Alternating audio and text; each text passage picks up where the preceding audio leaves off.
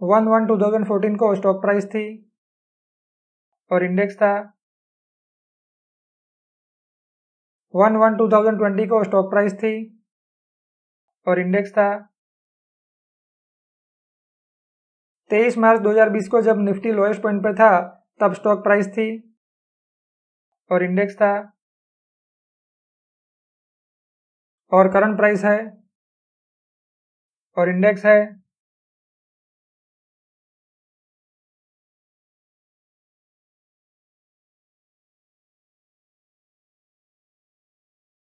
यही figures chart में देखते हैं।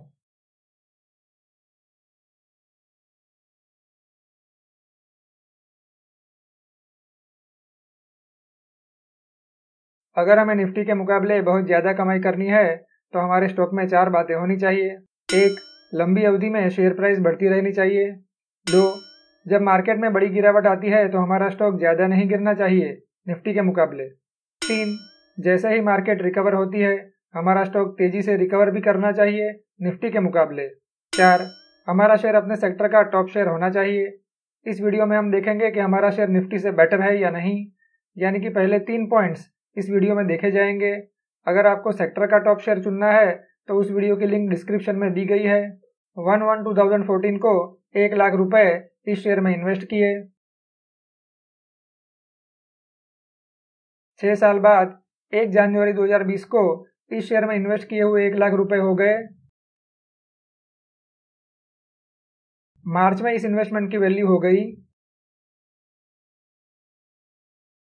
और करंट शेयर इन्वेस्टमेंट की वैल्यू है one one two thousand fourteen के दिन एक लाख रुपए निफ्टी फिफ्टी शेयर्स में इन्वेस्ट किए। छह साल बाद one one two thousand twenty के दिन निफ्टी फिफ्टी में इन्वेस्ट किए हुए एक लाख रुपए हो गए। मार्च 2020 में इस इन्वेस्टमेंट की वैल्यू हो गई और करंट निफ्टी फिफ्टी इन्वेस्टमेंट की वैल्यू है।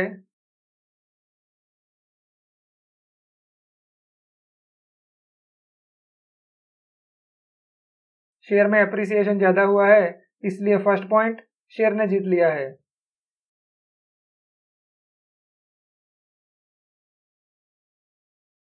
सेकंड पॉइंट निफ्टी ने जीता।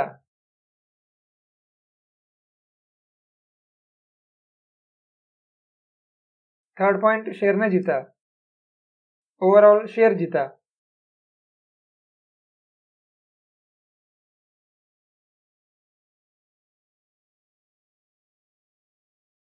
यही एक लाख रुपए की अगर हमने एट परसेंट इंटरेस्ट से फिक्स डिपॉजिट की होती तो आज उसकी वैल्यू हो गई होती। एफडी के एट परसेंट के मुकाबले निफ्टी ने कितने परसेंटेज का रिटर्न दिया? ये शेयर ने कितने परसेंटेज का रिटर्न दिया?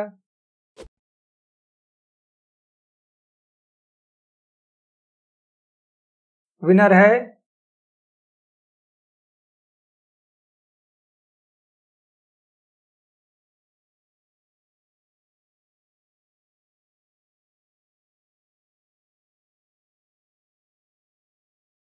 आज अगर किसी को एक लाख रुपीस इन्वेस्ट करने हैं तो वो क्या करे? ये स्टॉक में इन्वेस्ट करे, निफ्टी फिफ्टी स्टॉक्स में इन्वेस्ट करे, या एफडी में इन्वेस्ट करे? ये शेयर के और निफ्टी के एन्यूअलाइज्ड रिटर्न परसेंटेज हमने देखे वही रिटर्न परसेंटेज अगर भविष्य में भी कंटिन्यू होंगे तो एक साल के बाद क्या होगा?